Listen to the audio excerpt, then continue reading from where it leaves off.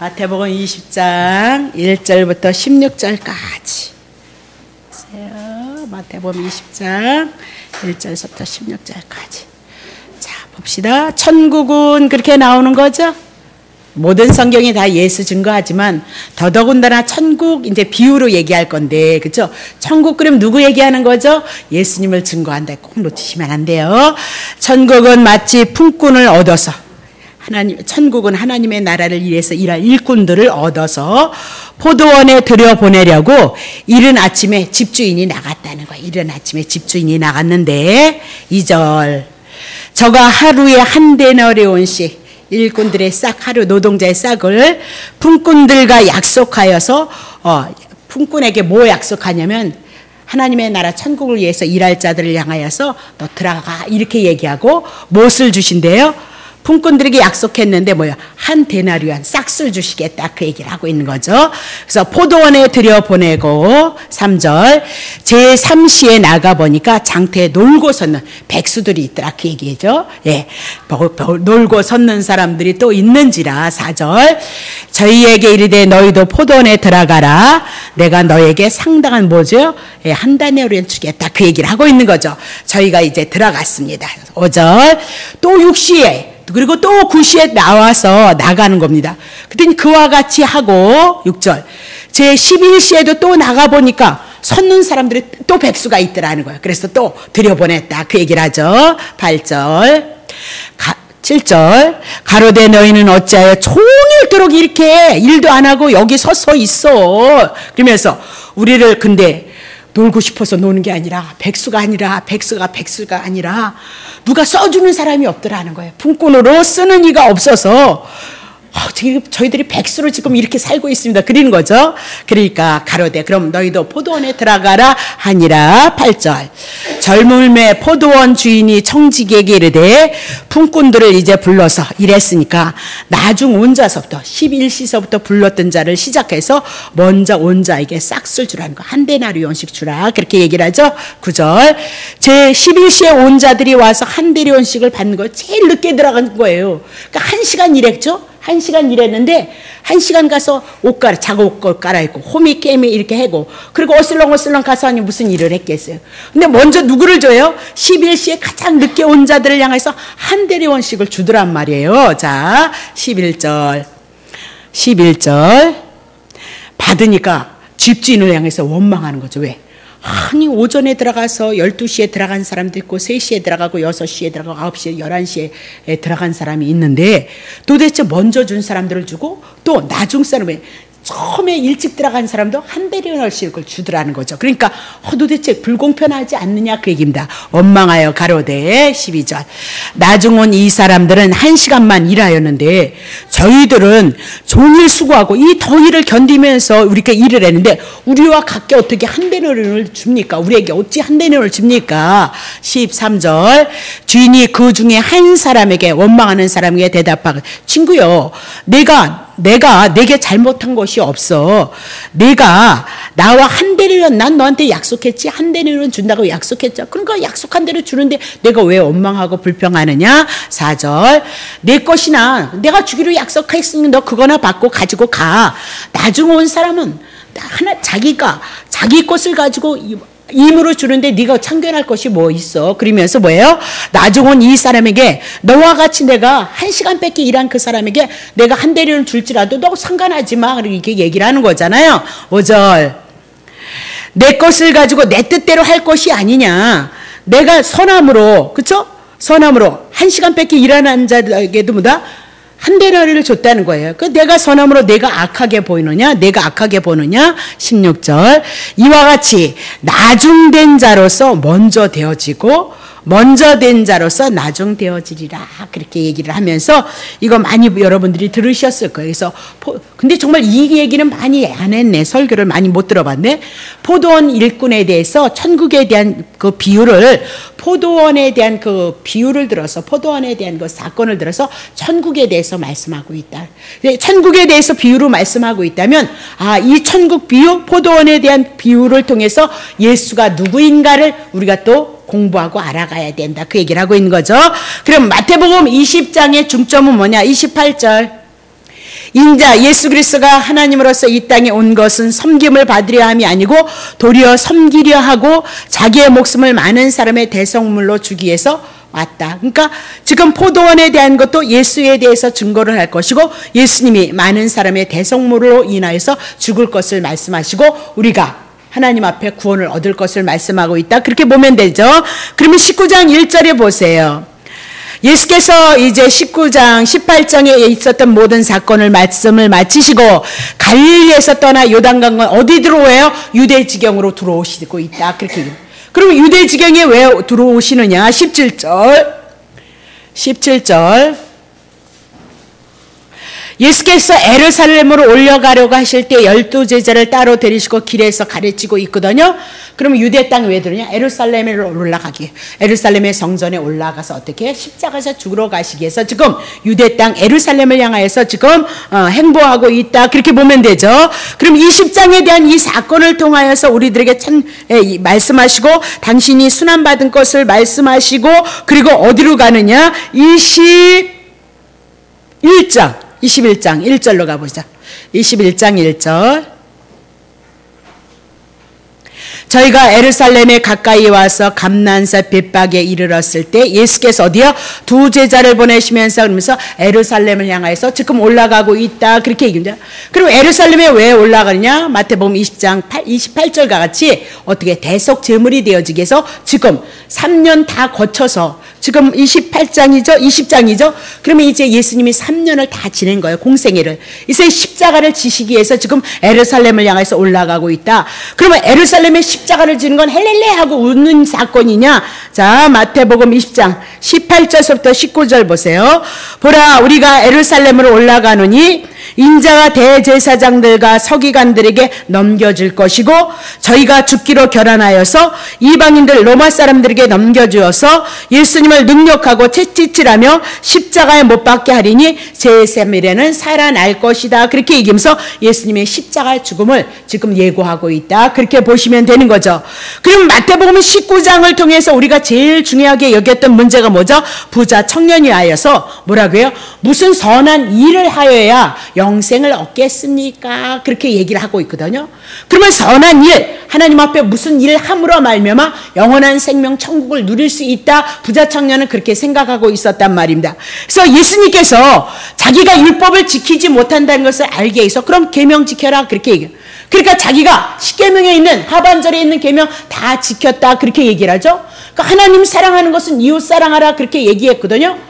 근데 하나님이 주신 율법은 뭐예요? 죄를 깨닫게 하기 위함이지 율법 지키라는 거 아니다. 근데 이 부자 청년이 관원이었으니까 상당히 지식도 있고 부도 있는 자였다. 그렇게. 근데 하나님의 관원으로서 어, 이스라엘 백성이 지도자로서 지금 하나님의 말씀에 대해서 옳게 분별하지 못함으로 말미암아 난 율법 지키는 거는 너네를 지키라는 얘기가 아니라 너네들 지키지 못한다 죄인이다. 그래서 내가 와서 너네들의 죄를 담당하고 율법 다 지켜서 예수님이 율법 지킨 것도 예수를 믿는 자의 것이 되어지고 죄의 문제를 해결한 것도 예수를 믿는 자의 것이 되어질 것이다. 난 그것을 위해서 너네들에게 율법을 줬는데 부자 청년이 알지 못하니까 그럼 너 부자지. 그럼 한번 율법 지켜봐. 하나님 사랑 뭐예요? 이웃 사랑이니까 너 재산 많잖아. 그러니까 갖다 한번 율법 지켜라. 이웃 사랑해라. 가난한 자들 아직도 많이 있지 않느냐? 내 소유를 갖다 다 팔아라. 그렇게. 근데 이 청년이 어떻게 해요? 그것을 행하지 못했다. 그러니까 부자가 무엇이 부자냐? 내가 하나님 앞에 의로운 자, 의로운 자인 줄 알고 있는 자가 뭐예요? 부자다. 그렇게 얘기를 하고 있어요. 그래서 내가 의로움으로 말미암아 하나님의 나라 무슨 일, 율법을 지키고 하나님 앞에 율법의 행위를 가지고야 하나님 앞에 천국 간다는 그 오해를 풀어주기 위해서 부자 청년에 대해서 지금 말씀하시면서 계명 지키라 다 지켰다 그런 가난한 자들에게 재산 팔아라 지키지 못했다. 그러면 천국에 누가 가느냐? 아무도 들어갈 수 없다. 근데 그거 누가 하시느냐? 하나님이 하시겠다. 하나님이 어떻게 하시냐? 하나님의 아들 예수 그리스도를 이 땅에 보내셔서 마태복음 20장 28절에 대속의 제물로 그분이 죽으시고 우리를 위해서 우리를 위해서 죽으시고 우리를 살려내심으로 우리의 구원이 있을 것을 말씀하고 있다. 그렇게 얘기를 하는 겁니다. 자, 다시 보겠습니다. 음. 자, 그러면 봐요. 다시 보겠어요. 마태복음 19장 17절을 향해서 하나님의 영생이라는 것이 선한 일 그렇게 얘기를 했습니다. 자, 19장 27절 보세요. 자, 또 어떤 사건이 나오냐면 이에 베드로가 대답하여 가로되 보소서 우리가 모든 것을 버리고 주를 쫓았습니다. 그런즉 우리가 무엇을 얻으리까 이렇게 베드로가 주님을 따를 때 다 버렸다는 거예요. 그런데 내가 모든 것을 다 버리고 그리고 주를 쫓았으니 무엇을 얻- 빨리 가 요것들이 자 빨리 가 빨리 빨리 자 봐요. 베드로는 그렇게 얘기하는 겁니다. 하나님 앞에 희생하고 충성되었고 순종했는데 내가 보상이 무엇입니까? 라고 그렇게 묻고 있는 거죠. 그래서 그것을 잘 이해시키기 위해서 마태복음 20장을 통해서 포도원의 일꾼에 대한 사건을 통해서 전국이란 내가 수고하고 애써서 일을 해서 하나님의 은혜가 있는 것이 아니다 그 얘기예요. 마태복음 20장 20 예수 그리스도가 오셔서 그분이 죽으시고 그분이 우리를 살리셔서 무엇을 가지고 왔다? 천국을 가져왔다 그 얘기예요. 하나님의 나라, 하나님의 은혜와 사랑을 누가 가지고 왔느냐? 예수 그리스도가 가지고 왔다. 그래서 지금 마태복음 20장 부자 청년 베드로에 대한 보상 심리 이것을 가지고 지금 20장을 통해서 그들의 오해를 지금 불식시키고 잘 이해시키셔서 하나님의 은혜는 거저 주는 것이다. 그것이 마태복음 20장에 대한 내용이다. 그 얘기입니다. 자, 그러면 마태복음 20장 1절에 보니까 천국은 그렇게 얘기를 하고 있어요. 그럼 여러분 천국이다 그러면 아, 예수님을 어떻게 증거 왜? 예수가 천국 가져왔으니까. 하나님의 나라 은혜 갖고 왔으니까 예수님으로 증거하는 것이 마땅하죠. 마태복음 18장 1절 보세요. 18 그때 제자들에게 예수께 나와가지고 천국에서 누가 큽니 까? 그렇게 얘기를 하고 어린아이에 대한 사건 무엇을 들었죠? 예, 천국에 대한 사건을 얘기하고 있어요. 자, 그러면 마태복음 21장은 없고 20장도 천국에 대한 얘기 22장 펴 보세요. 1절 보세요. 22장 1절. 예수께서 다시 비유로 대답하여 가라세 혼인 잔치에 대한 사건을 듣는데 천국은 마치 그렇게 얘기하면서 예수님이 이 땅에 오셔서 당신이 하신 말씀은 무엇과 연관되어 있어요? 천국과 연관되어지고 하나님의 나라와 연관되어져 있다 그래. 그 예수님은 온전히 하나님의 나라에서 하나님이신 그분이 왜 육신을 입고 이 땅에 오셨느냐?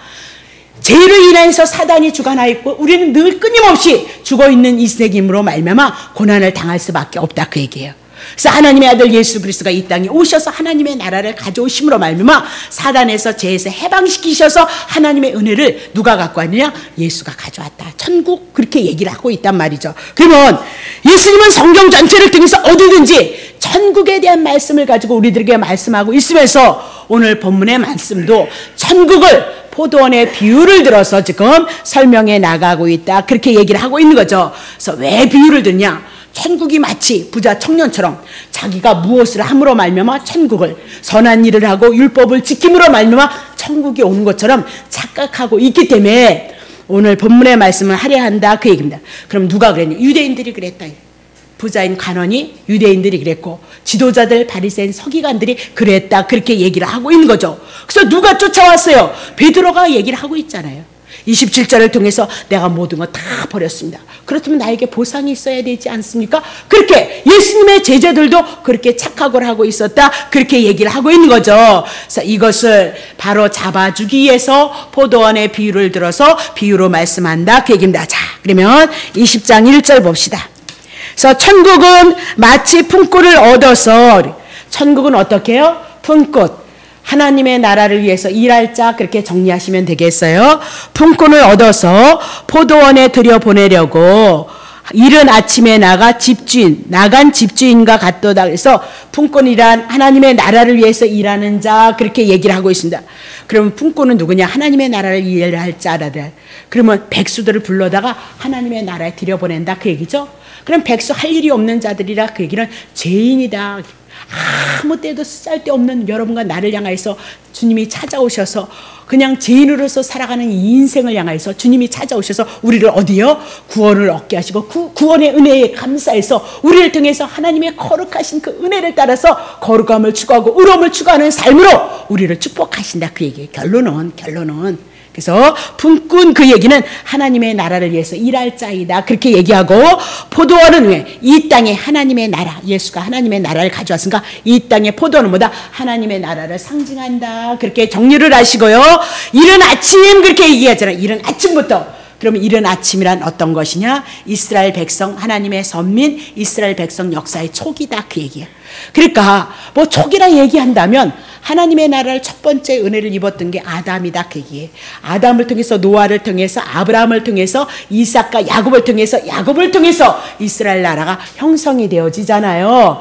그러면 아, 이런 아침에 이스라엘 역사의 초기를 얘기한다. 그러니까 하나님의 나라는 구약 성경서부터 하나님의 나라 예수 그리스도를 구약의 그림자로 모형으로 예언을 우리들에게 얘기했다. 여러분에게 말씀을 드렸어요. 그러면 집주인은 누구냐? 천국의 왕이신 예수 그리스도가 이 땅에 오셔서 누굴요? 품꾼 하나님 앞에 구원을 받 백수 같은 우리의 인생, 집 밖에는 가질 것이 없는 인생, 그래서 할 일이 없는 인생, 하나님과는 관계가 없는 인생을 향해서 예수가 이 땅에 오셔서 하나님의 나라를 일할 수 있는 자들로 여러분과 나를 어디로 하나님의 나라 구원을 받게 그리를 들여보는 역할을 누가 하느냐? 예수 그리스도가 하실 것이다. 그렇게 그 역사는 이스라엘 역사 초기서부터 있었다. 그렇게 얘기를 하고 있는 거죠. 2절 보겠습니다. 저가 한두 한 데나리온씩 그러니까 노동자 하루에 품값이다 그렇게 얘기해요. 품꾼에게 약속을 했어요. 그래서 포도원에 들여보내고 그러니까 한 데나리온 아 하나님의 나라에 들어가서 구원을 얻은 자들이 하나님 앞에 일했을 때 막 그것을 가지고 막 상급으로 막 그리시는데 천국에 가면 더 이상 부족한 것이 없어요. 그래서 천국에 여기서 한 데나리에는 한마디로 쉽게 얘기하면 구원이다. 하나님 앞에 구원을 얻은 거. 그것도 누가 들여보내줘서 일을 하게 하신 거요? 백수 같은 우리를 불러서 하나님의 나라 복음을 인하여서 그리스도 안에 들어가서 그리스도를 통하여서 은혜를 입고 하나님 앞에 너무 감사해서 의롭고 선하고 거룩함을 그분의 뜻을 추구하는 그 삶을 이뤄가는데 그것이 뭐예요? 구원이다. 한 데나리온이다. 쉽게 얘기하면 그런 얘기단 말입니다. 자, 그래서 품꾼과 약속해서 포도원에 들여보냈다. 그렇게 얘기하죠. 자, 그러면 보세요. 자, 3절. 또 3시에 나가보니 장터에 놀고 섰는 사람들이 또 있더라. 아니, 실력 있고 능력이 있으면 왜 일을 못하냐 말입니다. 그럼 지금 장터에 놀고 섰는 사람은 백수다. 하나님의 나라에는 아무 쓸모짝이 없는 자들이다. 그 얘기입니다. 그래서 하나님께서, 예수님께서 오셔서 어떻게 장터에 놀고 있는 사람들 죄인을 상태를 말씀하면서 그 사람들이 있어서 어떻게 장터에 놀고 섰는 사람들이 또 있더라. 그렇게 얘기하면서 4절 보세요. 저희에게 이르되 너희도 포도원에 들어가라. 그러면 내가 너희에게 상당히 주리라. 예, 보상해 줄 것을 말씀하고 있죠. 한 데나리온 줄 것을 말씀하고 있는 거예요. 그러니까 저희가 또 포도원에 들어갔어요. 자, 보세요. 5절. 6시와 제9시에 나가 그와 같이 하고 6시에도 나가보니까 또 백수가 있고 9시에도 나가보니까 또 아무것도 할 일이 없는 자가 있단 말입니다. 모든 것이 하나님께로부터 시작이 되어져서 우리는 하나님 앞에 영광을 돌려드리는 삶을 이뤄가야 되는데 죄인이기 때문에 하나님 앞에 단절되어져서 하나님을 알지 못한단 말입니다. 그래서 하나님께서 우리 하나님을 알 수 있도록 누구를 보내죠? 예수를 보내시기로 약속하시고 예수가 오셔서 우리 개개인 하나님의 택자들을 향해서 찾아오셔서 예수를 통하여서 하나님의 구원의 반열에 쓰게 한다 그 얘기입니다. 그래서 여기서 뭐예요? 6시에도 나가보니까 백수가 또 있고 9시에도 나가보니까 백수가 또 있어서 또 어디를 들여보냈어요? 포도원을 들여보냈다. 하나님의 나라의 구원을 얻게 했다. 그렇게 얘기를 하고 있는 거죠. 자, 6절 보세요. 또 11시에도 나가보니까 섰는 사람이 또 있어. 백수가. 그래서 7절 보세요. 가로되 너희는 어찌하여 너희는 어찌해서 총일토록 놀고 있어. 백수처럼 할 일이 없는 자냐. 그러니까 죄인이니까 하나님 앞에 이럴 것이 없는 거예요. 하나님의 은혜를 입고 하나님의 은총을 알았다면 하나님을 사랑하고 하나님을 경외하고 하나님의 뜻을 위해서 거룩을 추구하고 의로움을 추구하는 삶이 있어야 되는데 죄인이니까 아무것도 할 일이 없는 거예요. 세상 안에 하나님을 알지 못하는 자들은 제 아무리 다 사회를 위해서 공헌을 했을지라도 죄인의 상태 속에서 하나님과 관계없이 그들의 삶을 살아가고 있기 때문에 이런 상태다 그 얘기예요. 하나님의 나라 이루지 못하는 삶을 거룩함을 하나님의 의도를 추구하지 못하는 존재예요. 그래서 예수님 오시면 그들은 불신파로 떨어진다 그 얘기를 하고 있잖아요. 그렇죠? 다시 보세요. 예. 왜 그리고 서 있어 그랬더니 뭐라고 얘기해요? 7절에 총열토록 놀고 서 있느냐 이렇게 그러니까 우리를 품꾼으로 쓰는 사람이 없더라. 왜 품꾼으로 쓸 수가 없었을까요? 그만한 실력을 가지지 못했기 때문에. 세상을 비유로 들어서 얘기하는 거예요. 우리가 어떤 일터를 찾으러 가고 일터가 우리들에게 있어주기 위해서는 그만한 실력이 있어야 회사에서 우리를 부를 거 아니에요. 그래야 쓰일 거 아니에요. 지금 천국에 대해서 얘기를 하고 있는 거예요. 왜 천국 하나님을 위해서 우리가 열심히 일하고 봉사하고 헌신하고 하나님의 거룩함을 추구하고 하나님 앞에 영광을 돌려드린 그 삶을 이뤄가지 못하고 이루고 있니? 그러니까 써주는 사람이 없더라는 거예요. 그럼 아직도 구원받지 못한 자이다. 그렇게 성경이 우리에게 제시를 하고 있는 거죠. 그러면 유대인들의 시간은 우리와 달라서 오전 6시가 하루의 시작이고 오후 6시면 저녁인 거 하루가 끝난다 그렇게 보시면 되는 거예요. 그러면 지금 3시에 6시에 9시에 11시에 10차례 나갔다 5차례 나갔다 그렇게 얘기를 하고요. 7절에 보면 11시에 나갔다 그렇게 얘기해요. 6절에 보세요. 11시에 나가보니 섰는 사람이 또 있도다 그렇게 얘기를 하고 있죠. 그러면 11시는 뭐예요? 오후 5시인 거예요. 그러면 오후 6시면 하루가 끝나는 거예요. 그러면 오후 이게 뭐예요? 5시에 6시가 하루가 끝나는데 오전 지금 11시라고 얘기하는 것은 오후 5시를 얘기하는 거죠. 그러면 하나님의 나라에 늦게 늦게 들어가서 똑같은 한 달란트 구원을 받는 것을 지금 설명해 나가고 있다. 그렇게 보시면 돼요. 자, 그러면 서 있는 자들에게 있어서 어, 어, 포도원을 차례로 다섯 자리를 거쳐서 품꾼을 들여보내는데 에, 이른 아침에 한 데나리온씩을 약속했다. 한 데나리온씩을 약속했고요. 자, 4절에 4절에 상당하, 상당하게 줄이라라고 그렇게 얘기를 하고 있는데 에, 10절 보세요. 10절 9절 보세요. 9절 제9시에 온 자들에게 앞서서 한 데나리온씩 아니 아침서부터 열심히 한 사람이 있는데 지금 뭐 하시냐면요. 주님이 자, 8절 보세요. 8절. 8절 보세요. 점으로서 이제 그 한 대너를씩 싹쓸 주는 거예요. 근데 뭐냐면요. 포도원 주인이 청지에게 대 품꾼을 불러들여라. 그러면서 나중에 온 자부터 시작하는 거예요. 예, 11시에서부터 불러들였던 자를 싹쓸 주는 거예요. 먼저 하나님의 그 구원의 은혜가 풍요롭다는 거예요. 한 시간밖에 일을 할까 말까 한 그 시간을 가진 자에게 먼저 뭘 줘요? 삭술 주고 있어요. 품꾼들을 불러서 나중 온 자, 11시서부터 시작한 자에게 먼저 은혜를 주고요. 그가 하나님의 은혜를 풍성히 누린다. 그렇게 얘기를 하고 있는 거죠. 그러면 먼, 나중 온 자서부터 시작해서 먼저 온까지, 먼저 수고하고 애쓴 자들은 뭐다? 나중에 싹술 주는 거예요. 나중에 하나님의 은혜를 입어가더라. 풍요롭게 입어가더라. 그렇게 얘기를 하는 거죠. 그러니까 구절에 보세요. 제 11시에 온 자들이 구절 치세요. 10절 치세요. 9절 치세요. 맞아요? 예. 제 11시에 온 자들이 앞서 한 대를 원식을 받으니까 10절 치세요. 먼저 온 자들이 와서, 어머, 더 받을 줄 알았는데, 아니, 나중에 온 사람도 저 한 대련을 준다면, 아니, 더 많이 받을 줄 알았더니, 저희도 뭐예요? 한 대련씩 밖에는 받지 않더라는 거예요. 그러면 봐요. 받은 후 11절, 받은 후 집주인을 향해서 지금 원망하는 거죠. 그러면 12절 보세요.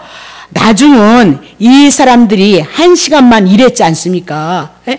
자기네는 하루 종일 일했는데 이 나중에 온 사람은 한 시간만 일하는데 저희를 종일 수고와 어? 더위를 견딘 우리와 같이 어떻게 똑같이 한 달렌트를 주십니까? 그렇게 원망하고 불평하고 있다 그렇게 얘기를 하고 있는 거죠. 자 그러면 그러면 자 아, 누가 원망했느냐? 먼저 먼저 하나님 앞에 구원을 얻은 자가 원망했다 그 얘기입니다. 자, 이 얘기는 봐요.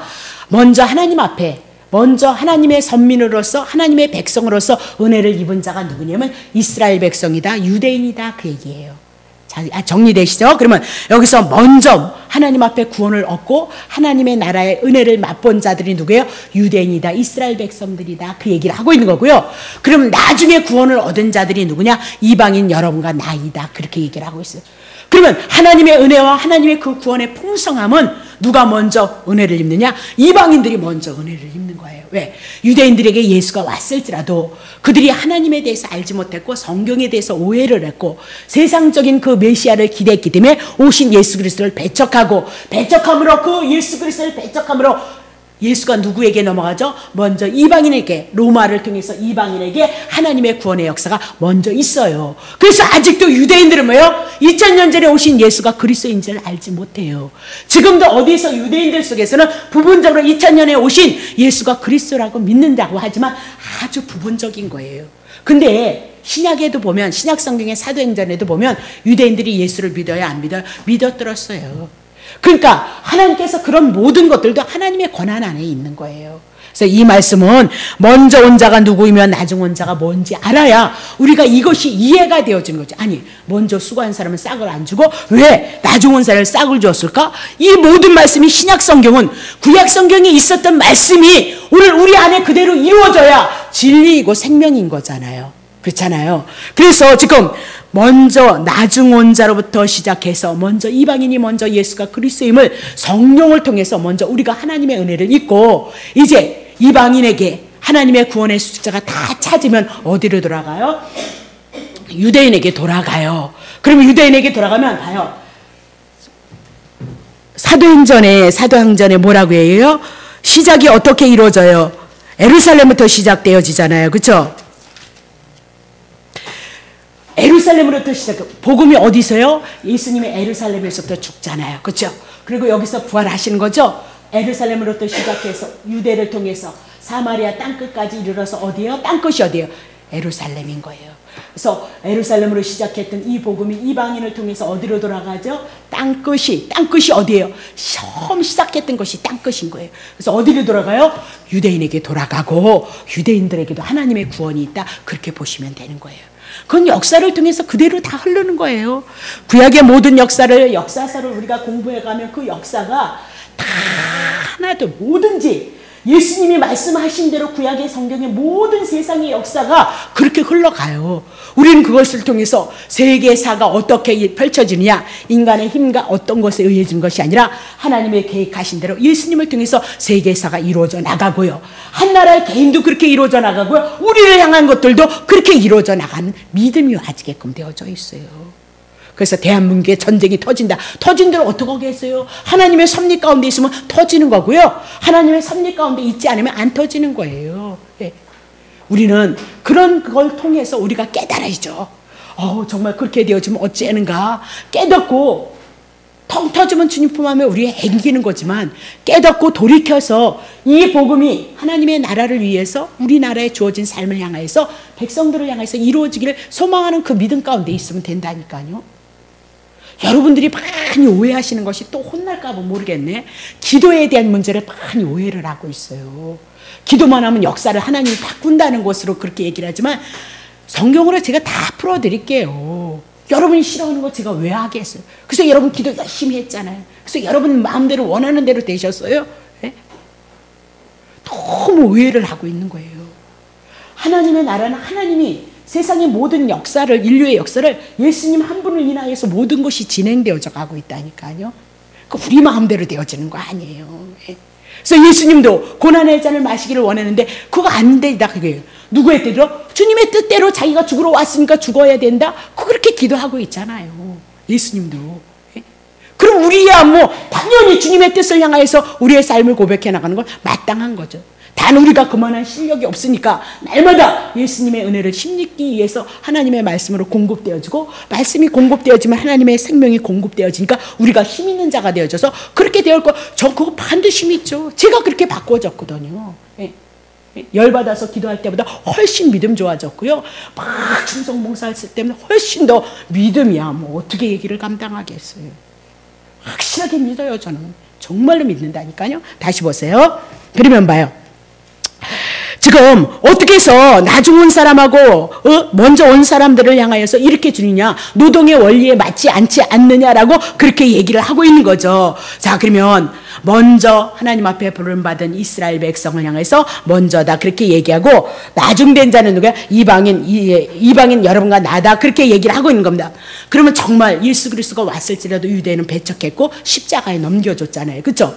그리고 예수님이 죽으시고 부활하시고 어, 3일 만에 부활하시고 그리고 다시 40일 동안 일을 하시고 예수님이 가시니까 성령이 오셔서 예수 그리스도 하나님의 말씀 온전히 이루신 이 말씀을 가지고 성령을 우리에게 부어 주셔서 이방 이방인들에게 하나님의 복음이 증거되어진 것이 어디 나타나죠? 사도행전을 통해서 나타나잖아요.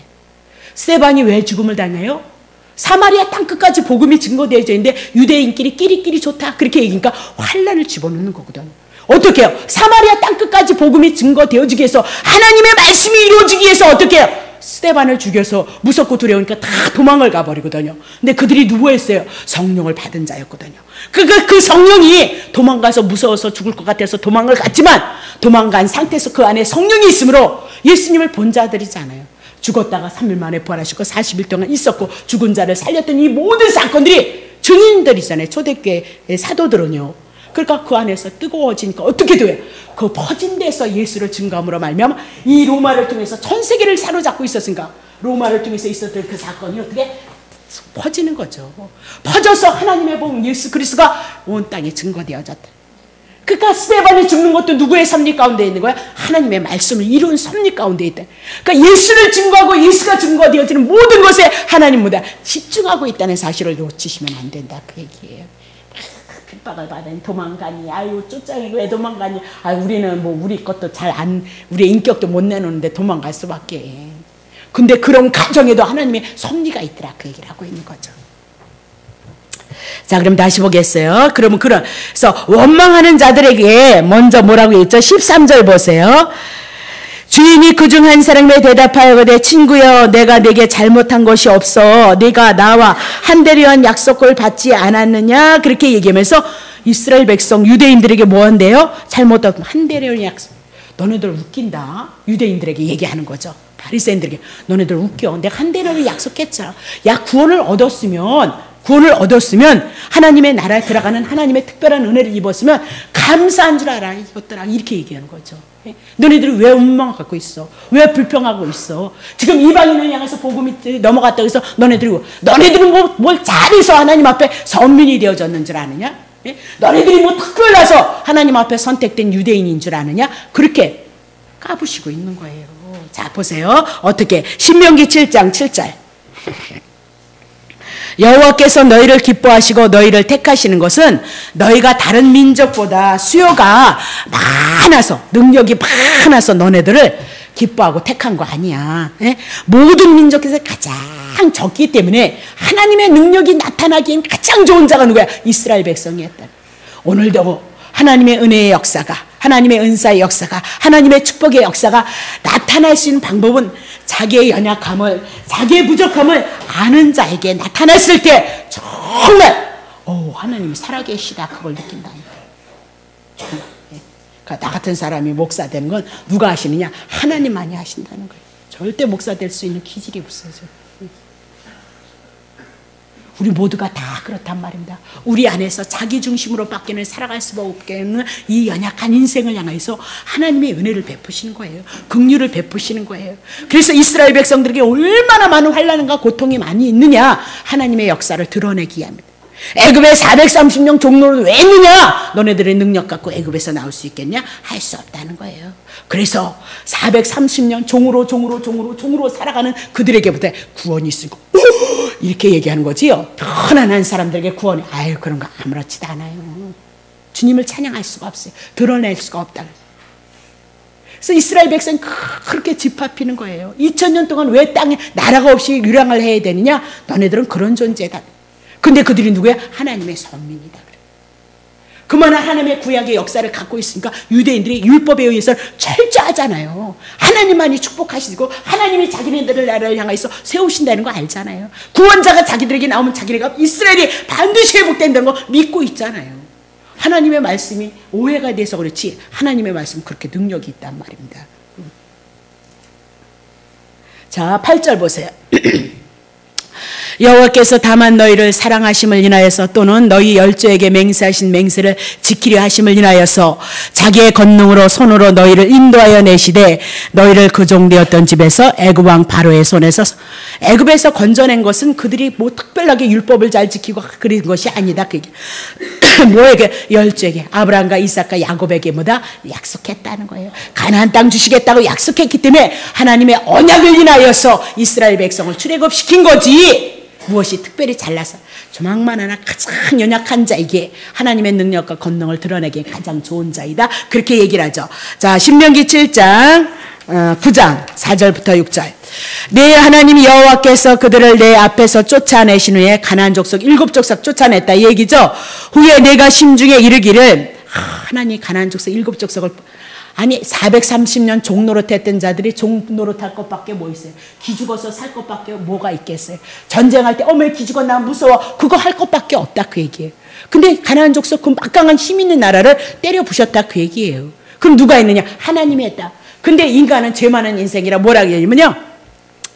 쫓아나신 후에 내가 심중에 말하기를 나의 의로움을 인하여서 여호와께서 나를 이 땅으로 인도해 드려서 그것을 얻게 하셨다. 그렇게 말한다는 거야. 그런 거 하지 말라 그 얘기. 얼마나 기가 막히냔 말이에요. 주님이 모를 것이 어디 있겠느냐. 인간의 마음은 그런 상태밖에 돌아갈 것이 없다 그 얘기예요. 그래서 언제든지 하나님의 은혜입니다 그렇게 얘기하고 언제든지 누가 있어요? 제가 있단 말입니다. 우리가 그런 존재란 말입니다. 자, 다시 보세요. 실상은 이 민족이 악함을 인하여서 실상은 이 민족들이 악함을 인하여서 여호와께 그들을 내 앞에서 쫓아내심. 가나안 족속도 왜 쫓겨나냐? 죄를 인하여서 쫓겨나는 것이다. 그렇게 얘기하죠. 5절 보세요.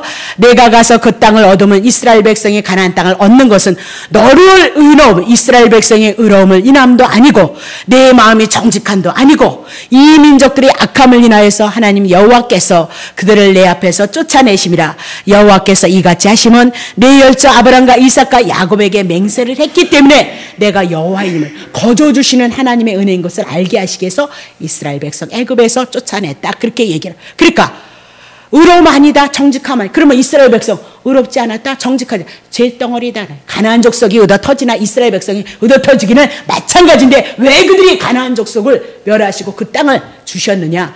언약하신 맹세 때문이다. 하나님의 언약에 의해서 모든 나라가 지배를 받고 있어요 다시 6절 보세요. 그러므로 내가 알 것은 내 하나님 여호와께서 내게 이 아름다운 땅을 기업으로 주신 것이 내 의로움을 인함이 아니다. 이스라엘 백성인데 목이 곧아서 교만하기가 짝이 없는 것이 뭐야? 이스라엘 백성이었더다. 그렇게 그러면 도대체 하나님께서 이스라엘 백성을 향해서 이렇게 택하신 이유, 택하신 이유야. 하나님 열조에게 맹세하셨기 때문이다. 그 언약을 통해서 하나님이 여호와가 하나님이심을 증거하고 구약의 이스라엘 백성을 통해서 그 구원을 이루셨던 것처럼 구약의 이런 가나안 땅 땅이라는 것을 통해서 누구를 증거한다 그랬죠? 예수를 증거할 것이다 그래. 그러면 신약에 와서 예수를 통해서 구원을 얻는 우리는 우리의 의롭 때문이 아니다. 율법을 지켜서 구원을 얻는 것이 아니다. 그것이 뭐다? 포도원 품꾼에 대한 사건, 싹에 대한 사건을 통해서 우리들에게 말씀하고 있다. 그렇게 보면 되는 거죠. 그래서 20장 3절 쳐보세요. 마태복음 20장 제3시에 나가버리 장태에 놀고 섰는 사람 아무 데도 쓸데기 없는 사람들을 어떻게 하나님의 나라에 들여보내서 의롭고 거룩하게 선하게 아름답게 하나님 앞에 영광 돌려드리는 그 삶을 살아갈 수 있도록 뭘 줘요? 한 디너를 위한 구원을 얻었다. 그 얘기를 하고 있죠. 6절 보세요. 6절. 또 6시에도 나가고 9시에도 나가서 그와 같이 하고 6절 보세요. 7절. 7절. 예 7절이에요. 예. 어찌하여 종일토록 놀고 여기 또 서 있어. 11시에 나가보니까 우리를 품꾼으로 쓰는 하나님의 나라를 위해서 일할 수 없는 못난 자들이 누구예요? 이방인은 하나님 앞에 구원을 얻은 우리들이다. 그렇게 얘기를 하고 있는 거예요. 이해되시죠? 이해되시죠? 네. 자, 보세요. 그러면, 그러면, 일을 구하지 못하고 장터에서 놀고 있는 사람들은 일꾼의 자질이 없는 자다. 다. 그런데도 하나님께서 어떻게 주님께서 그들을 향해서 부르시고 부름을 받은 그들을 향해서 하나님의 나라에 들여 보내셔서 하나님을 위해서 쓰임 받게 하는 자들이다. 그렇게 그러니까 여기서 먼저 부름을 받은 것은 이스라엘 백성들 유대인을 얘기하고 두 번째 나중에 하나님 앞에 부름을 받은 자들은 이방인이다. 이렇게 얘기고 창기와 세리와 같은 여러분과 나다. 그렇게 얘기를 합니다. 그러면 불러내셔서 하나님의 나라를 세워 가는 일에 기하게 참여시키는 자체가 뭐다? 은혜이고 복음이도다라고 그렇게 얘기를 하면서 이 일에 천국의 일에 부르심을 받은 자들에게 약속한 그 품값은 품값은 그들이 수고하고 애써서 받는 것이 아니고 먼저 하나님께서 예수를 보내셔서 그들을 통해서 구원을 얻게 하셨단 말입니다. 구원을 얻음으로 말미암아 감사해서 하나님 앞에 헌신하고 봉사하는 아름답고 복된 삶을 이뤄가게 하는 것이다. 그러니까 싹시라는 것을 통하여서 우리들에게 상을 줬니 다섯 달란트 이런 것이 아니고 그저 하나님으로부터 받은 그 구원의 은혜를 인하여서 하나님의 나라를 위해서 일해 나가는 것 그 자체가 뭐다? 여러분 복이다 그렇게 얘기를 하고 있어요. 그러니까 봐요. 오늘 예수를 믿어서 오늘 수요 예배 여러분들이 이곳에 오셨잖아요. 이 상태가 복인 거예요. 지금 바쁘시고 어쩌고 저쩌고 저쩌고 해서 못 오시는 상태가 어떻게 해요? 지금 복을 잃어버리고 있는 상태다 그 얘기예요. 예수를 믿는 그 복은 내가 하나님의 은혜를 입고 하나님의 뜻 안에서 마음과 생각이 하나님 앞에 하나가 되어져서 그 자리에서 머물고 그 삶을 고백해 나가는 그것이 보다 복을 받았기 때문에 여러분이 의롭고 선하고 거룩하고 하나님의 뜻을 이루는 자로 그 자리에 그 마음의 생태로 여러분이 있다 그 얘기예요. 시간을 허비하지 않는 삶을 살아가고 있는 상태가 뭐다? 복 있는 상태다. 그렇게 얘기를 해요.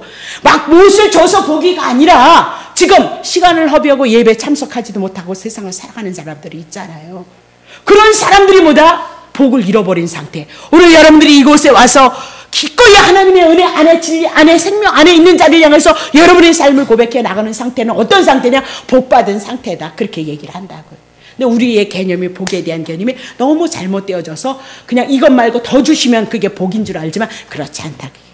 오늘 여러분들이 복 있는 자다. 그렇게 얘기를 하면서 하나님이 나라는 은혜로 시작해서 은혜로 오는 거예요. 하나님께서 은혜로 시작해서 은혜로 끌고 가시고 은혜로 끝맺힐 것이다. 그거 놓치지 마세요.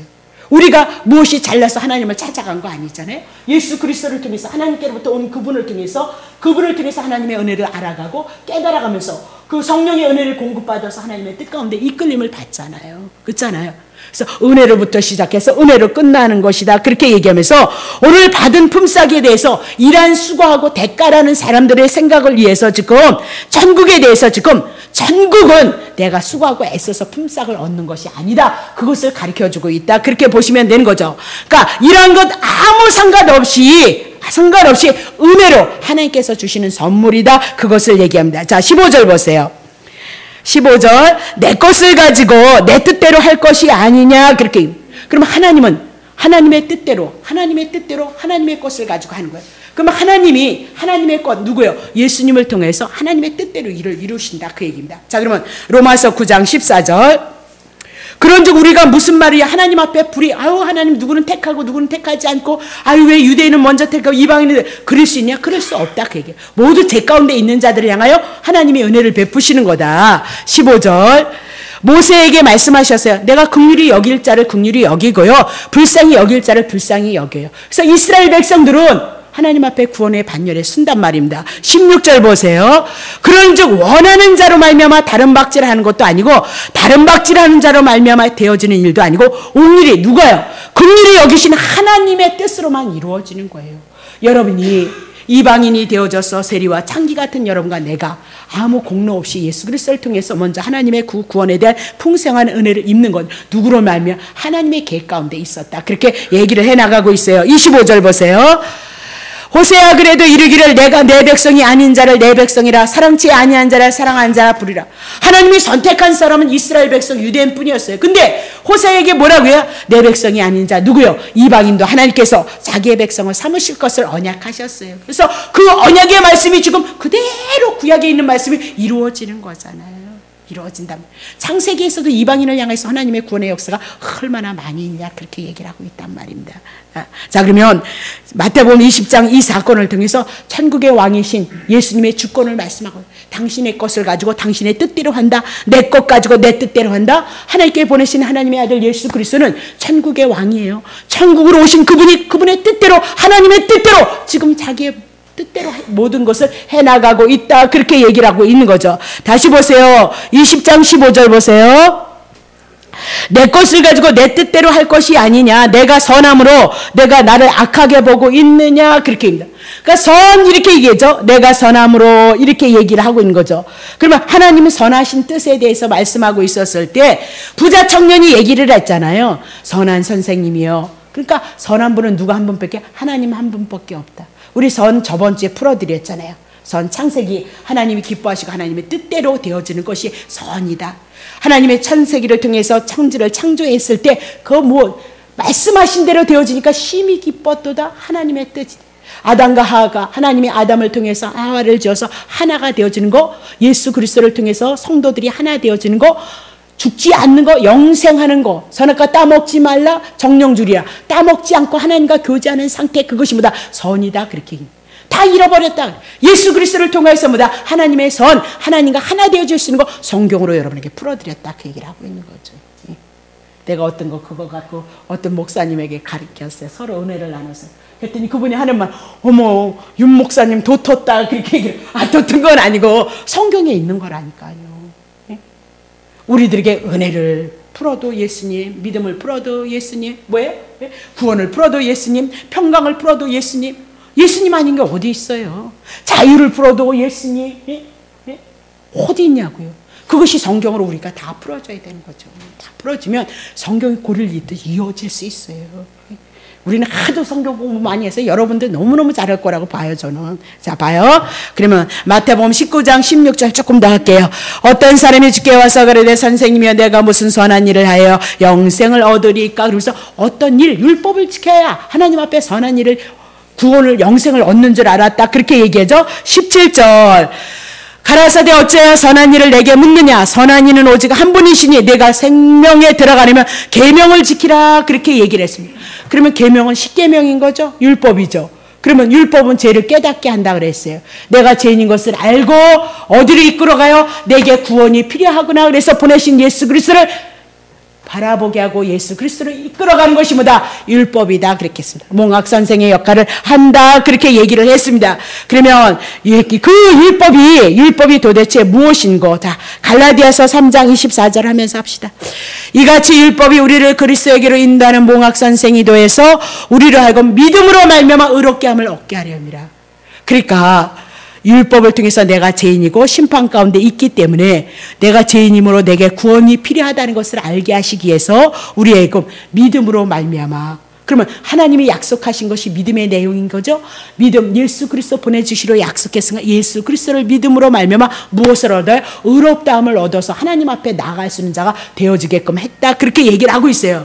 그러면 도대체 우리들에게 계명을 지키라 했던 이 믿음이 무슨 계명으로 이루어진다 그랬어요? 요한일서 3장 23절 그의 계명은 곧 이것이도다.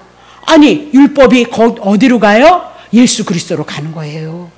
율법이 죄를 깨닫고 몽학 선생으로 누구에게로 이끈다 그랬어요? 예수 그리스도에게 이끈다 그랬잖아요. 그래서 계명이 무엇이니? 이것이 곧 그 아들 예수 그리스도의 이름을 믿고 그 예수 그리스도의 이름을 멜랑 믿으면 되느냐? 예수님이 십자가에서 죽으신 것도 내 사건, 부활하신 것도 내 사건, 성령이 오셔서 내 안에 그리스도를 증거함으로 그리스도에 대한 죽으심과 부활하심과 안치심과 하나 되어진 것이 믿음이 되어짐으로 말미암아 어떻게요? 그의 계명은 이것이니 그 아들 예수 그리스도를 믿는 거예요.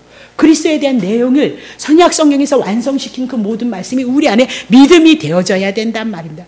그래서 그 믿음이 예수 그리스도로 연결되고 십계명이 무엇으로 연결돼요? 예수 그리스도로요. 보세요.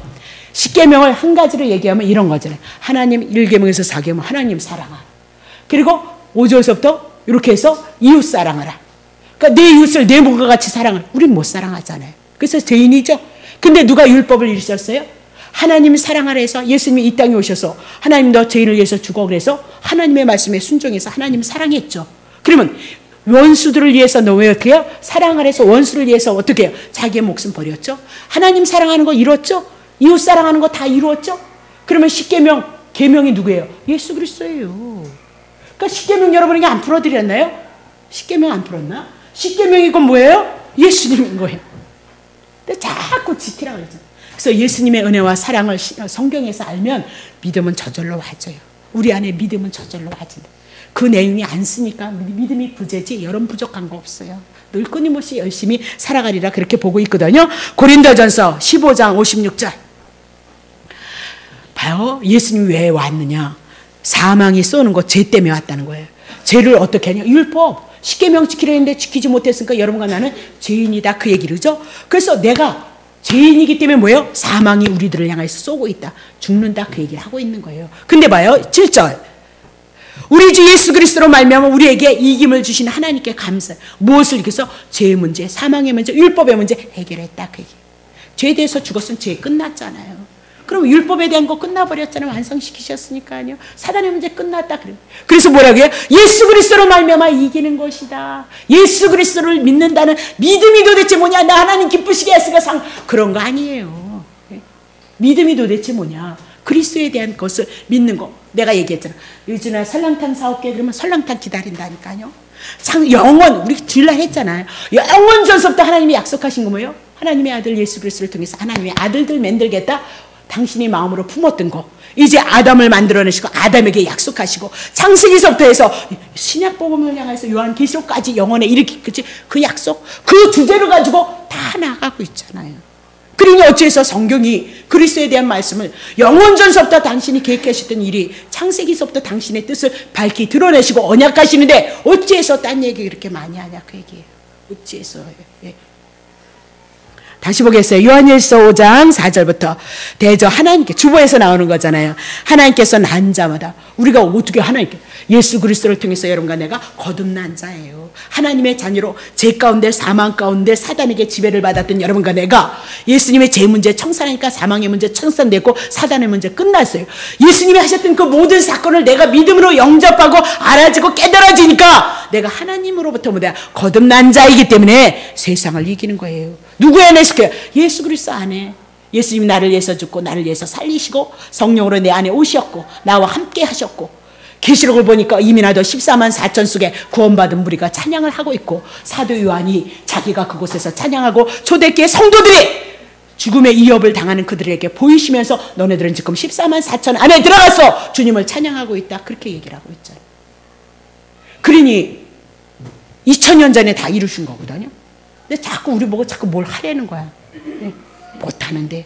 그래서 예수님으로부터 다시 거듭나는 거예요. 예수님의 말씀으로 예수님의 뜻으로 무조건 예수님이 하여튼 예. 예수님을 통해서 우리의 영이 거듭나는 거예요. 예수님의 말씀으로 성장하는 거예요. 예수님의 말씀으로 충만해지는 거예요. 그러면 어떻게 해요? 예수님의 은혜와 사랑이 와서요. 자연스럽게 주님을 사랑하게끔 돼요. 정말이에요. 그건. 그래서 뭐요? 하나님께로부터 난 자마다 세상을 이긴 거예요. 여러분이 뭘 이게 지금도 못 이기는데요. 예. 지금도 못 이기잖아요. 승질 낼 거 내야 되고 혈기 낼 거 내야 되고 막 다 하나님 뜻대로 율법 지키지도 못하잖아. 근데 이미 나도 이긴 자라는 거예요. 세상을 이기는 이것이 뭐예요? 우리의 믿음인 거예요. 믿음이요.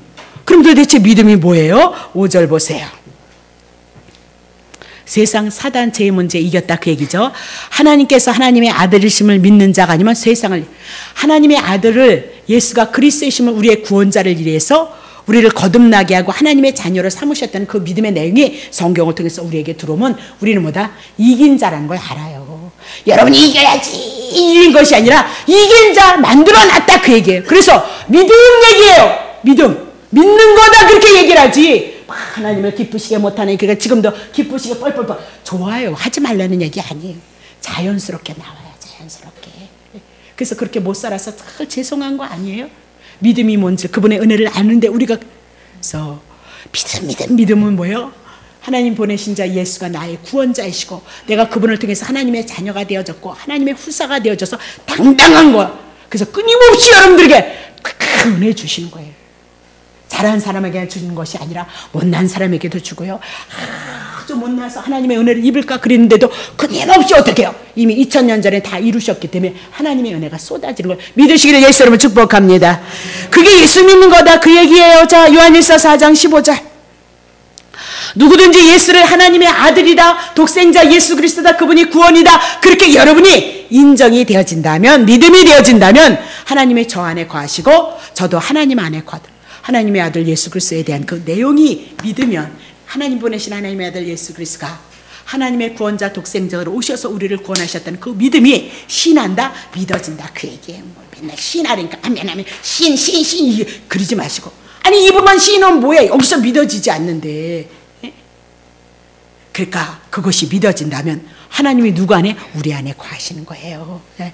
예수님도요 하나님 안에 거하셔서 요한복음을 통해서 내가 내 안에 내가 내 안에 저저저고 해서 하여튼 하나님 예수님 예수님의 제자가 하나가 되어지는 거 요한복음 14장을 통해서 우리에게 말씀하잖아요.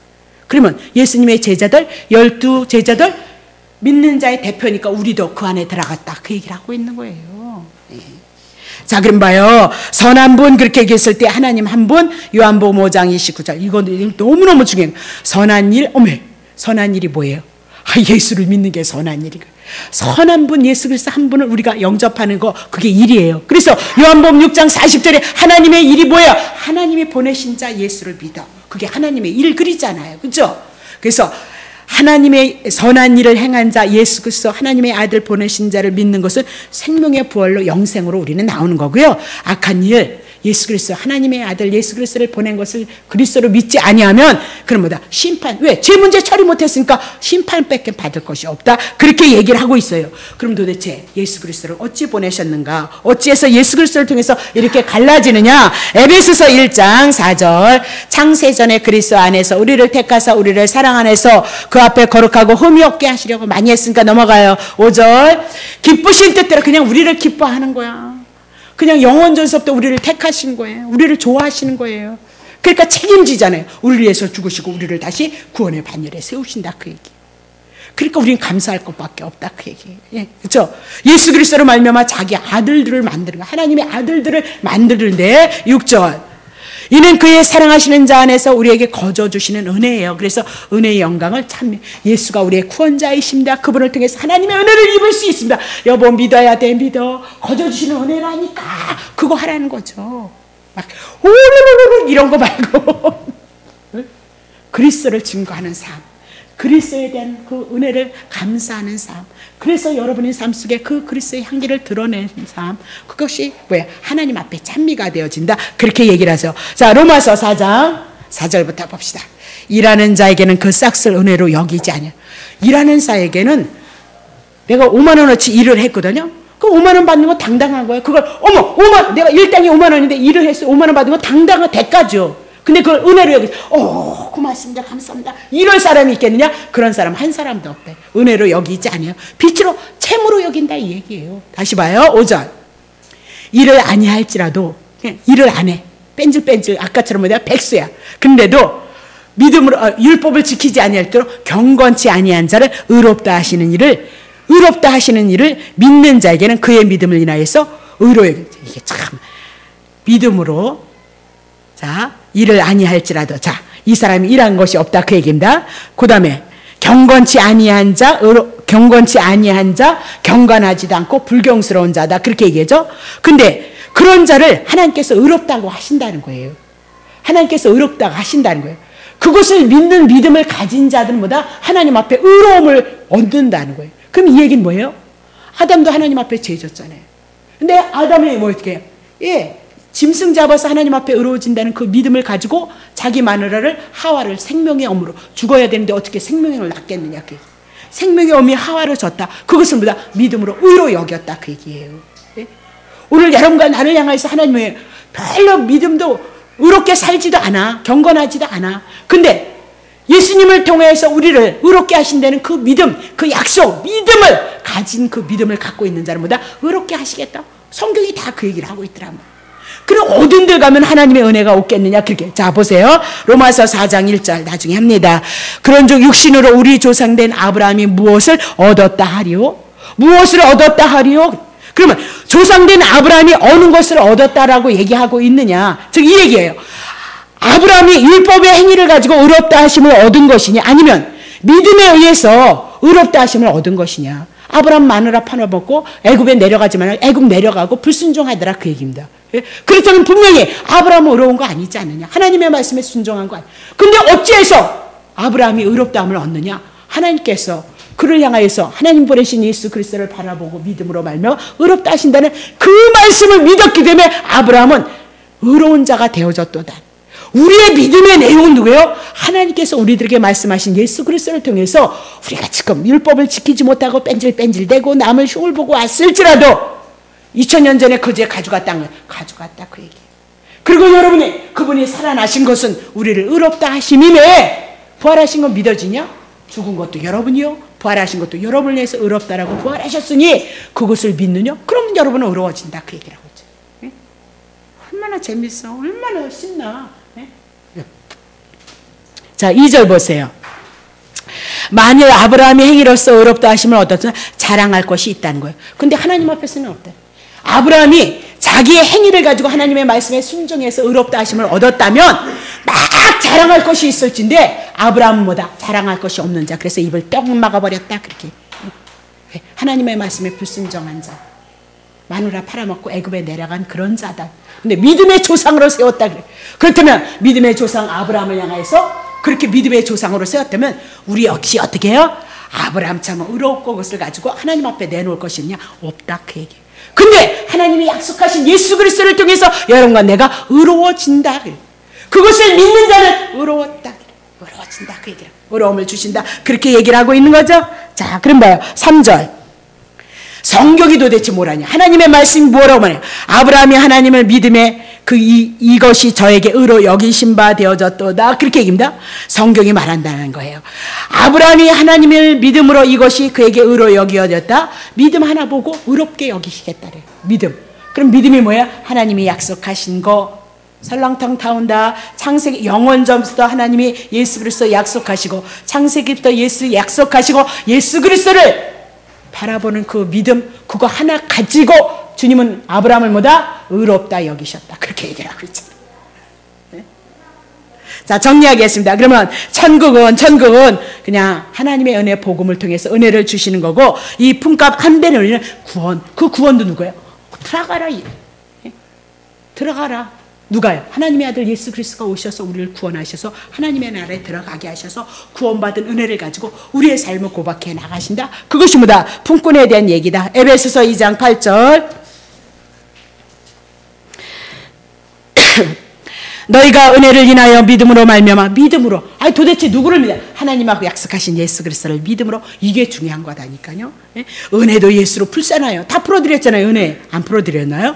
은혜도 어떻게 예수로 풀고 믿음도 예수로 구원도 예수로 풀고 예? 하나님의 선물은 뭐 하나님 그때 나온 예수 그리스도밖에 없잖아요. 예? 여러분에게 뭐 안 풀어드렸어? 믿음 안 구원 안 풀어드렸나요? 다 풀어드린 것 같은데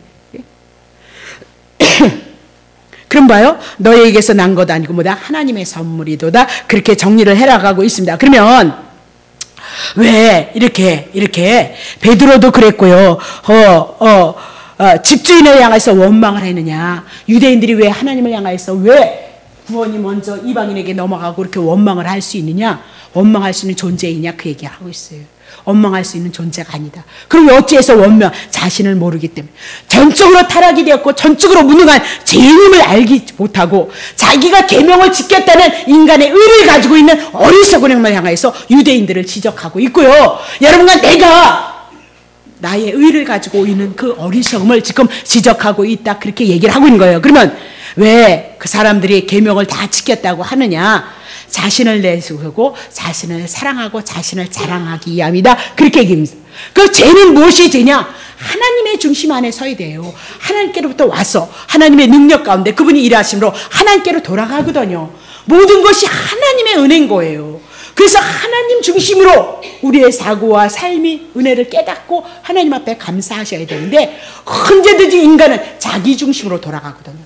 바벨탑에 대한 사건 뭐였어요? 하나님의 나라 세우겠다. 그 래서 무너뜨렸다. 그 얘기예요. 오늘 나 세운다? 무너지게끔 되어져 있어요. 왜 나 세우느냐? 하나님의 은혜를 넓게 깊게 보지 못했기 때문에 그래요. 요새는, 요새는 그렇게 잘난 척하면 사람들이 다 싫어해요. 가지도 않잖아. 어, 잘났다고 나 자기가 콩, 콩깍지 하나 사주나, 눈깔 사탕 사주나. 예? 그 밑에 가서 좋아할 거 없잖아요. 예? 그런 의미는 아니지만 어쨌든 지금 시대가 어떤 시대냐 그 얘기예요. 그래서 우리의 못난과 연약함 속에 그리스도에 대한 은혜가 얼마나 큰지를 알고 그 은혜를 붙잡으려고 생각하는 그 삶 속에 여러분들이 있어야 되거든요. 갈라디아서 6장 13절 할례 받은 저희라도 스스로 율법을 지키지 아니하고서 의로 할례를 받게 하는 것은 너희 육체로 할례 유대인들이 왜 자꾸 할례 받으냐 자기 자랑하려고. 근데 사도 바울은 할례 자랑하지 않았어요. 뭐 자랑했죠? 오직 십자가 하나만을 자랑한 자다. 그렇게 얘기를 하고 있는 거죠. 그래서 자기 중심에는 공로의식, 자랑이 용납되어져 있어요. 언제든지 자기 중심에는 자기의 공로, 자기의 자랑이 나온다. 근데 마태복음 20장 28절에 예수는 자기의 자랑이 아니고 자기를 죽여서 원수들을 살렸다. 그렇게 얘기를 해 나가고 있거든요. 그러면 하나님은 자기 아들을 통해서 다 주시고 값없이 주셨다. 이렇게 얘기를 하고 있어요. 근데 어찌해서 그래서 자꾸 자기 자랑을 자꾸 드러내느냐, 자기 얘기를 자꾸 하느냐, 교회를 부흥시킨다고 해야 되는데 왜 하느냐? 예수님이 십자가 하나님의 아들 그 사랑을 희석시키고 있는 거예요. 오늘 이곳에 와서 하나님의 말씀을 통해서 예수님에 대한 하나님의 아들에 대한 그 내용을 가지고 우리의 심령 가운데 예수님에 대한 은혜와 사랑이 서야 되는데 자꾸 이거 하면 복 받는다, 저거 하면 만사형통한다, 이렇게 하면 뭐 한다, 뭐 한다. 그러니까 그것이 주로 이러니까 예수님은 앞에서 시작하더니 뒤에서 몇 마디 하고 끝나더라. 그 얘기를 하고 있는 거죠. 그게 속는 거다. 그 얘기예요. 고린도 후서를 통해서 이 세상의 신이 누구예요? 하나님의 영광의 강체 복음 예수 그리스도를 비치지 못하게 하고 있다. 그렇게 얘기를 하잖아요. 그게 속는 것이라는 것을 모르고 있다. 그렇게 얘기를 하고 있는 거죠. 그래서 하나님의 복음의 강체 영광스러운 그 복음을 희석시키는 결과를 낳는다. 고린도전서 9장 12절 다른 이들도 너에게 이런 권을 가졌거든 하물며 우리일까 보냐 우리가 이 권을 쓰지 아니하고 범사에 참는 것은 그리스도의 복음의 장애가 없게 하련 사도 바울이 복음 전하면서 고린도 교회에서 장막을 치면서 일을 했어요. 그래서 교회에서 나오는 그 물질을 가지고 먹고 복음을 전해야 되는데 그걸 쓰지 않았어. 워낙 고린도 교인들이 막 세상 말로 얘기하면 너무너무 골치 아픈 존재들이었거든. 예. 그래서 복음에 장애가 될까봐 그거 쓰지 않았어요. 베드로는 마누라를 데리고 다니면서 했어도 그거 다 했었다. 그렇게 얘기를 하잖아. 근데 자기는 그거를 쓰지 않겠다네. 그런데 봐요. 뭐래? 그리스의 복음의 장애가 없게 하기 위해서 사도 바울 그랬다는 거예요. 그러면 오늘 교회 부흥시키는 것도 좋죠. 부부 세미나에서 뭐, 뭐, 부부가 사랑하는, 아유, 그게 그리스도로 변화되어지지 않으면 그거 안 되는 거예요. 예? 너무 죄송한데. 아버지 학교에 가가지고 썰라문에 한, 한 달 그거 10만 원 주고 우리 했는데, 우리도. 아, 나 웃기, 웃기기만 하던데 나는 그냥, 아니, 그런 게 생활이 안 돼가지고 너무 웃겨. 배우는 거 좋죠. 아니 배우는 거 봐요. 아기 때는 훌륭한 사람들아 착해라 선해야 된다. 그 응애 태어났어. 맨날 엄마한테 배우죠. 막 착해야 된다. 너 나한테 잘해 잘해 잘해 이렇게 얘기해. 네. 국민학교 들어가죠. 중학교 들어가죠. 고등학교 들어가죠. 배우는 것이 얼마나 많이 있어요. 그래서 착해요. 그래서 변화되어졌어요. 복음에 대한 하나님의 은혜에 대한 그 모든 것들은 거듭남으로부터 그분으로부터 오는 거예요. 정말 예수 아는 게 얼마나 중요한지 아세요. 예수님의 은혜가 오면 바뀌어요, 정말. 네. 봐요. 그리스의 복음에 그러면 막 부부 세미나에서 이렇게 하세요, 이렇게 하세요, 이렇게 두 달도 못 갈 거야 아마. 네. 아니 기 아주 대단하신 분은 세 달 갈래나 내가 모르겠어요. 네. 그렇게 그렇게 되어지는 게 아니에요. 네. 교회 성장에서 막 전도에 대해서 아, 난할 말이 없는데 그런 거 못해서 할 말이 없는데 아, 난 부흥 집회하는 사람 불러오시면 되죠. 예? 그래서 그렇게 전도해 오십시오. 근데 전도는 좋죠. 예수를 증거하는 거니까. 근데 좋은데 그런데 그게 전도에 대한 내용인가 부부 세미나에 대한 내용인가 행복한 가정인가 자녀 양육을 잘한다나 유태인의 교육이래나 예수 어딨냐니까요. 예? 예수가 우리 구원자이십니다. 모든 성경이 그렇게 기록이 되어져 있다면 예? 예? 오늘 그런 말씀이 다 단해서 증거되어진다면 그리스도가 아닌 말씀이 증거되어지고 있다면 오늘 이 뭐예요? 복음의 장애가 없게 하기 위해서 사도 바울은 권을 쓰지 않았다는 거예요. 예? 우리에게 교회 중요하죠. 예배에 건물도 필요하고 교회 성장도 필요하고 그죠? 예? 또 뭐가 있어요? 예, 봉사해가지고 축복받는 그런 보상에 대한 그거는 거 부치키는 거 그거 중요하죠. 교회가 이루어지기 위해서.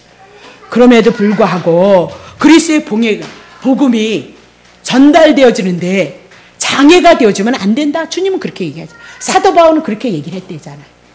그만한 능력과 그만한 권능이 있는 자가 복음을 인하여서 자기의 몸을 어떻게? 교회 안착하지 않잖아요. 막 돌아다니잖아요. 예? 예? 그리스 그 복음 하나 전하기 위해서 사도 바울은 그랬다 그렇게 얘기를 하잖아요. 예? 그래도 여러분들이 막 다른 거 좋아서 막 찾아다니실래? 내가 못 찾아다니게 하려고 자꾸 이런 얘기하는 거예요. 20장 16절 보세요. 이와 같이 나중 단절에서 먼저 되고 먼저 되는 자로서 나중되리라. 그래서 먼저 된자 유대인, 나중된 자 이방인. 그래서 유대인들에게는 언제서부터요? 아브라함에게 세워주신 언약. 그리고 모세를 통해서 이스라엘 백성에게 주신 율법이다. 그렇게 얘기합니다. 자, 마태복음 21장 43절 보고 끝내죠. 그러므로 내가 너에게 이르니 하나님의 나라를 너는 빼앗기고 그 나라의 열매를 맺는 백성이 유대인들이 먼저 하나님 나라 받았어요. 근데 빼앗기죠. 예수님 배척해서 십자가 올려놓고 죽으시고 부활하시고 40일 있다가 성령 올라가시고 성령 오셔서 복음이 누구에게 먼저 증거되죠? 로마로부터 이방인에게 복음이 증거되어지고 있다. 그렇게 얘기를 하고 있는 거죠. 그러면 어째서 하나님께서 그렇게 했느냐? 로마서 10장 3절. 하나님의 의를 모르는 거예요. 하나님 앞에 쓰는 의. 율법을 지네들이 지켜서 하나님 앞에 하나님의 선민이 되어지는 멍청한 유대인들을 향하여서 자기 의를 자꾸 율법을 지켜서 자기 의가 자기가 율법을 지켜서 하나님 앞에 의롭다고 그렇게 하니까 하나님의 의 예수 그리스도를 믿어서 하나님 앞에 의로워져야 되는데 율법을 지켜서 자기네들이 의롭다는 것을 아니까 하나님께서 어떻게 복음이 누구한테 넘어가죠? 이방인에게 넘어가는 거예요. 예수를 영접하지 않으니까 예수를 믿지 않으니까 하나님의 의가 주신 예수 그리스도를 그리스도를 영접하지 않으니까 하나님의 나라가 누구에게 넘어가요? 이방인에게 돌아간다. 오늘도 마찬가지인 거죠.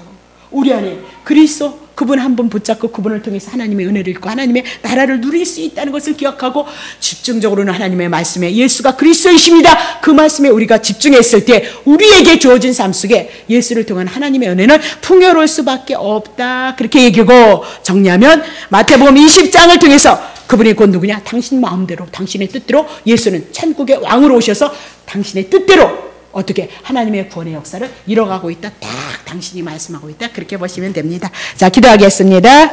하나님 아버지 고맙습니다. 포도원 비율에 대해서 다시 한번 어, 천국의 왕으로 오신 예수 그리스도에 대해서 살펴봤습니다.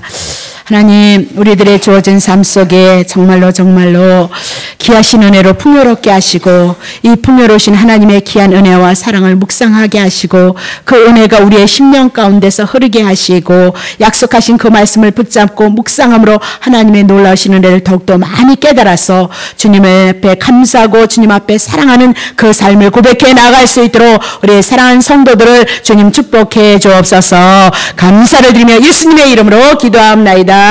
아멘.